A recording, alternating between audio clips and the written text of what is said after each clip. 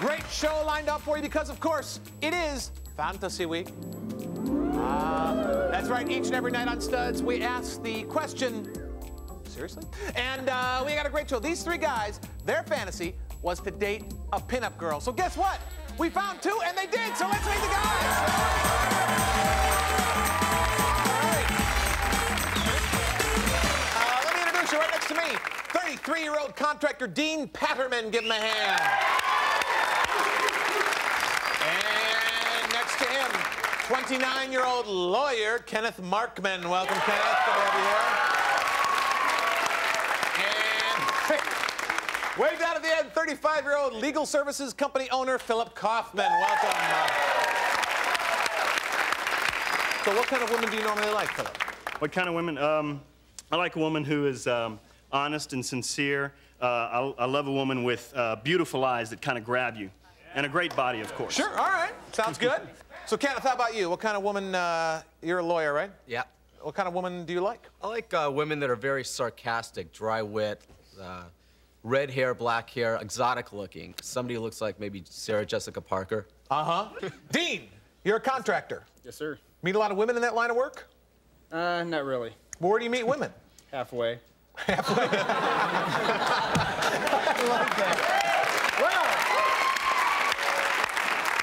this is Fantasy Week, and I think both of our women have gone more than that. Let's meet them. Mim and Anna, bring them out. Good to meet you. Anna, good to meet you. Have a seat, ladies. Right next to me, 23-year-old model and bon vivant Mim Parker. Give her a big hand. And next to Mim, 25-year-old Anna Limbertini. Give her a big hand. Now, now, before the show, you, you know how this works. Whoever has more of these hearts is Queen Stud. You go on a date with before. Now, before the show, they told me that you both have been in a very famous national men's magazine whose name we cannot say. Right. Mim, um, where are your eyes looking the first time you meet a guy? Is this in a bedroom or in a bar? Just anywhere, wherever you see them. Probably the eyes, because I want him to think I'm looking at him and his face, but then it would go down Really? Yeah. To what?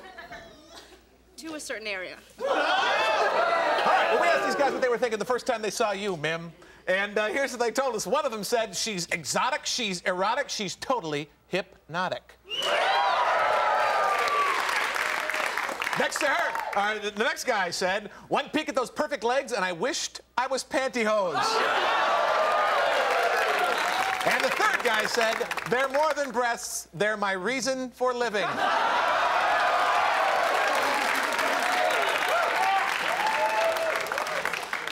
She's exotic, she's erotic, she's totally hypnotic. I would say Dean. Oh, Dean. No. Oh. What'd you say, Dean? I said one peek at those uh, perfect legs, and I wished I was pantyhose. Yeah. would you be sandalfoot or uh, what would you be if you were pantyhose? Uh, totally sheer. totally sheer? Yeah. What'd you, where'd you meet her first? Like her house, your house? My house. Uh huh. What was she wearing? Uh, she had these cowboy boots, little uh, black jean shorts, black leather jacket, little Elton John sunglasses. Kind of a hip hop thing. All right. Well, we're moving on. You don't get a heart. Sorry. Uh, Anna. What impresses you the first time you meet a guy? What do you see? What do you, what do you hook up with? He's got to have a mouth. He's got to be sarcastic. And he's got to uh, be able to take what I can dish. We asked these guys what impression you left on them. And here's what they told us. Anna, one of them said, This babe's so hot, she melted my zipper. Second guy said, I wanted to go on safari through that sexy jungle of hair. And the third guy said, The only thing that mouth was missing was my tongue in it. The only thing that mouth was, uh, was that was missing. The only thing that mouth was missing was my you know tongue which in one you mean, Anna. It's written wrong. Um, would be Phil. Yep. There you go. What'd you mean, Phil? Well, she has these um, beautiful, pouty, you know, lips. They're just very full and sensual. Go again there. This babe's so hot she melted my zipper. Or I wanted to go on safari through that sexy jungle of hair.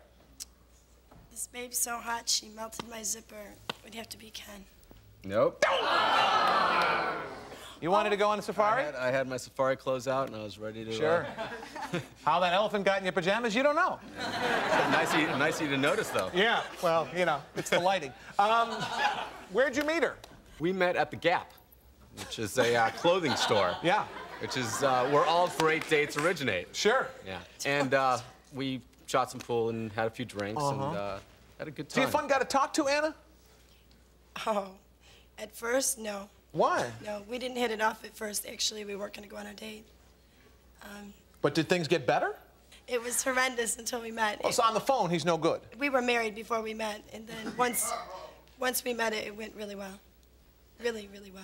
You were, really, really well. You were married before you met. Oh, we argued like Oh, you like argued no like other. you were married. Like no other. He had to start it over because I wouldn't. Does he have a mouth on him? Uh, you know it. Does she have a mouth on her? Oh, yeah. How about that? We'll find out what happened uh, when we return. Can't say the name. National Men's Magazine. I can't say. Welcome back to Fantasy Week. Three guys dated pinup girls from a National Men's Magazine, which we cannot say the name of. Mim, you like you like to go on dates that it's all just planned out, boom, boom, boom, boom, boom, boom, or you like to roll with the punches and just play around? No, I have to play. Boy, I'm a player. that's fun. I, if a guy has an itinerary and he's got certain things he wants to do, that's fine, but I'll shock him by pulling him over. If we're going on a long drive, I'll pull him over and kiss him or something unexpectedly. Uh huh. What's the wildest thing you've done like that on a first date? Whoa. oh, it was the night I lost my virginity. Oh. it was on a. And how on a old were you? highway. I was 18. It was on a highway in the middle of the afternoon after church. What highway? 395. 395. Yes, good highway. All right, well, we asked these guys what happened on these particular dates with you. One of them said, she put it in my mouth and told me to swallow. Second guy said, a beautiful meal, a beautiful woman, a beautiful night. Third guy said, one quick snap and her dress opened wide. One quick snap and her dress open wide would be Phil. Yes. Phil. Talk to me, Phil. Where was this? Um, it was on our way to the sushi bar.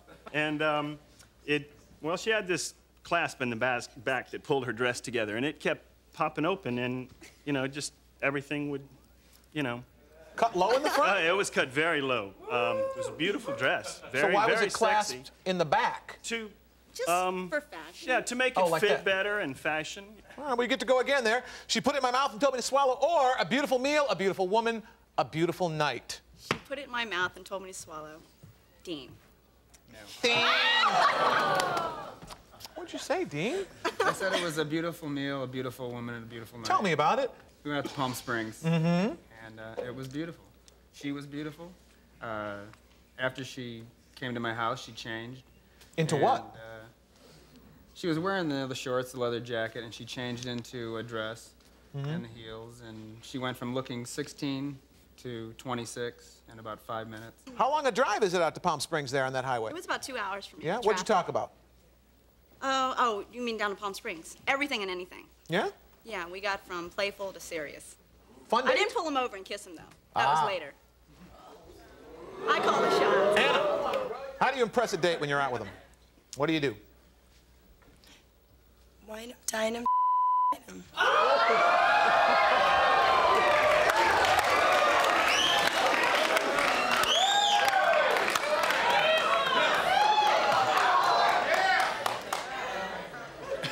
Who else is impressed?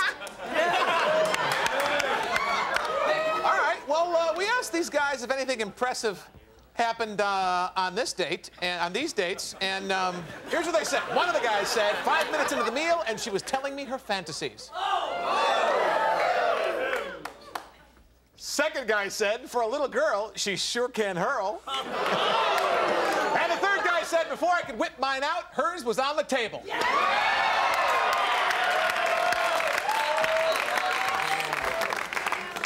For a little girl, she sure can hurl. That would have to be Phil. Yep. Phil, there you go. Why'd you say that, Phil? Well, she had gotten a real bad headache, and we were going to go to this real nice restaurant to eat, and the headache got worse, and we stopped at the Hollywood Diner to eat. And It's actually uh, hilarious. You tell the whole story. while she was in the restroom, four girls tried to pick her up, but then a little bit later, she got Let's sick. hear about that. You're in the bathroom, and four girls hit on you. I couldn't do, you know, I couldn't feel comfortable in the bathroom because I had four ladies in there with me. Yeah, so, that always makes me nervous. so we went across the street because I needed to fill up my car with gas. And then um, this, um, there was no bathroom at the gas station, so I was running across the street with a man that I didn't know into a go-go bar to use their bathroom. And then I came out and he was totally oblivious as to what happened. As am I. Needless to say, um, I felt better after. I When did you hurl? In the go-go bar. Oh, all right. We finally got there. Five minutes into the meal, and she was telling me her fantasies, or before I could whip mine out, hers was on the table. Um, five minutes into the meal, and she was telling me her fantasies would have to be Dean. There you go, Dean. Finally, you're hooking up.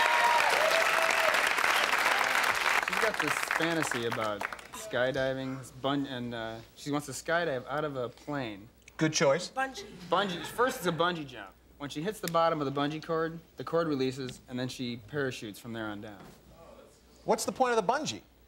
When you bungee, when you jump bungee backwards and, and you're falling, Yeah. and you, you're just falling and falling, and you snap and you run into a parachute, and it- or you hop into a parachute. Uh huh. That would make me hurl. Mim, Yes. how do you know when it's time to get romantic on a date?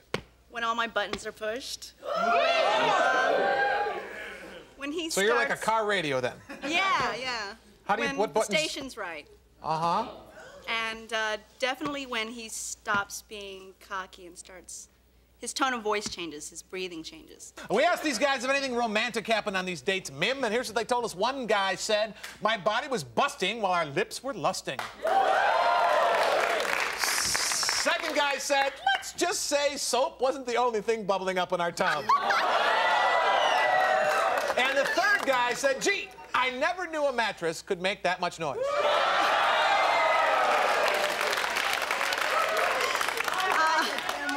Woo woo, right? Um, let's see. Let's just say soap wasn't the only thing bubbling. Uh, would have to be Ken. Yeah. There you go.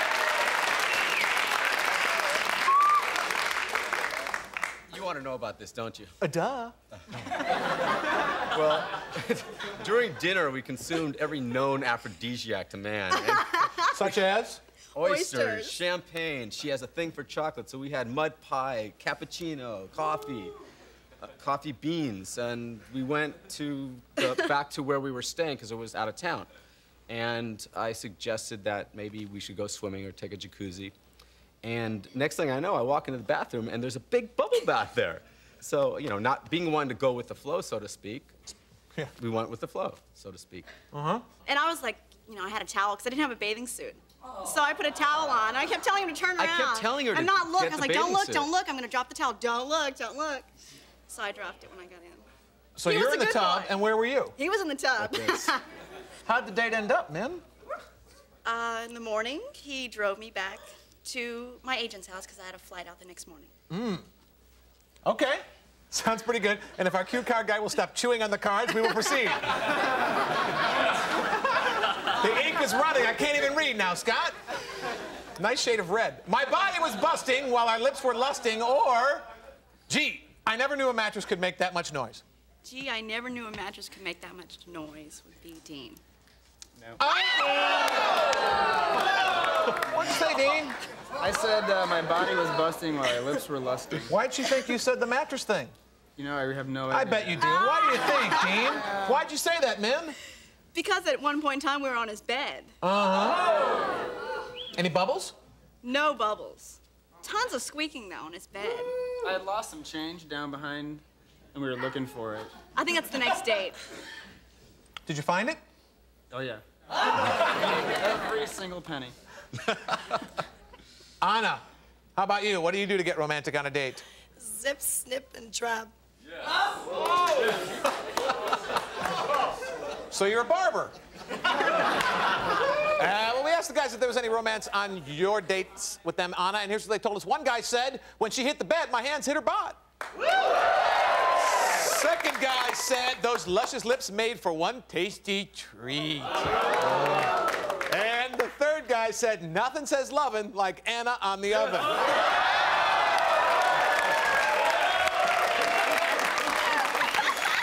When she hit the bed, my hands hit her bod. Would he have to be Phil. Yes. There you go. Phil, explain that. Well, like I said, she was feeling pretty bad, had a bad headache, so we went back to the hotel room um, that I was staying at on Hollywood Boulevard, and um, I massaged her back and neck and head and was trying to make her feel better. Mm-hmm. You know? Did he? Yes, he did. Good. All right. Sounds like a lot of fun. You get to go again there. Those luscious lips made for one tasty treat, or nothing says lovin' like Anna on the oven. Oh, God. Um, nothing says loving like Anna on the oven. Would have to be Kenny. Nope. Although I wish. What did you say, Kenneth? I said uh, that uh, the thing about the lips. She has the most incredible, incredibly sensuous lips. They're just really full and pouty and Yeah? She a good kisser? uh, yeah, Why? because she was kissing me. Great answer. Well, come on back. We're going to find out which one of these ladies is going to bungee jump from a helicopter. Oh, God, I poked somebody's eye out. Don't go away. We're back. All right, uh, back to Fantasy Week. Three guys, two pinup girls for a national men's magazine that we can't say. So, if you're done playing around, boy, let's get busy. Mim, according to these three guys, who's most likely to make a Valentine for her mom, you or Anna? Myself. She says her. Guys? Anna. Oh, why, Philip? Um, Anna talked about her mom a whole lot on our date. As a matter of fact, while we were in Venice Beach, she bought a purse for her. Really? And yeah, she's talking about going, uh, setting up a, a little business with her mom, a bridal boutique, and et cetera. Yeah. Cool. All right. Anna, who's most likely to cry at Beauty and the Beast, you or Mim? Mim. Mim. Guys? Mim. There you go. Why? Kenneth? Mim is, is, she's very emotional. I think she'd probably cry at the Terminator. I mean, she's just, Mim. Sad, you gotta cry at that. Who's most likely to bungee jump from a helicopter, you or Anna? Slam dunk, guys. Anna. Of course, she was talking about it before. Why, Kenneth? well, first of all, that's what she actually wanted to do on our date, which, without clothes, which she's very adventurous. is what I'm Without trying to s- clothes? Yeah. Just, well, the cord. Yeah, okay. Anna, who's most likely uh, who's most likely to do a strip tease for money? Uh, why, Dean? why? During our conversation at dinner, she got into telling me a little story about what happened between her and a bottle of tequila down in Mexico one night. Oh, no. And uh, she ended up uh, doing It a little a strip dare. for the, uh, the rest of the there. bar. Mim, who's most likely to pick up a man on the freeway? Oh, God. I think that's a gimme for you.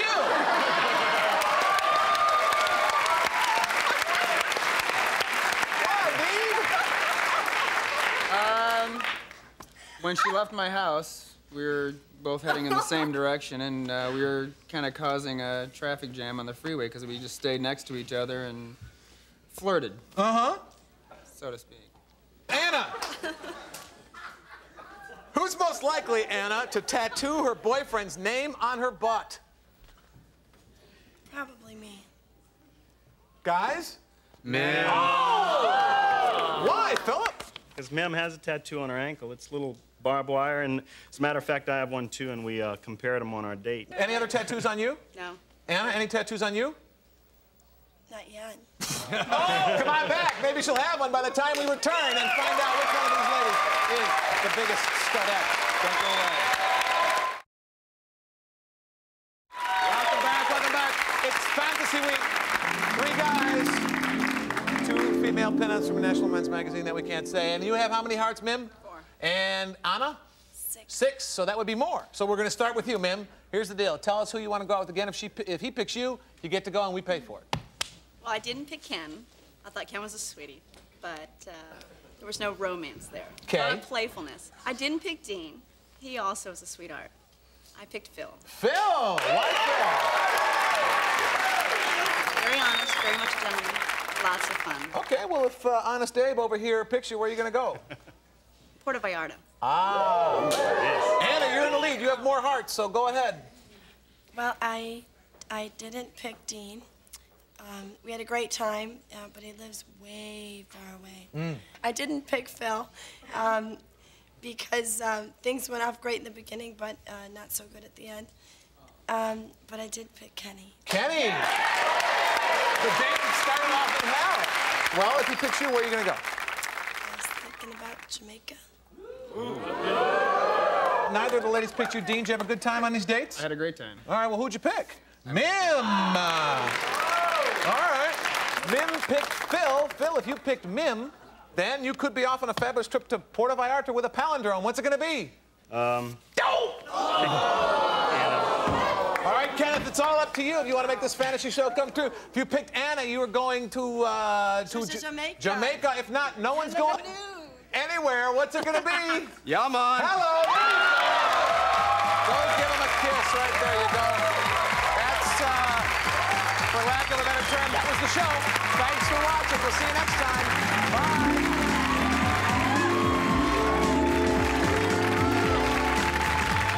Hey yo, well promotional fees been paid by the following. New Lee Press On Body Tattoo.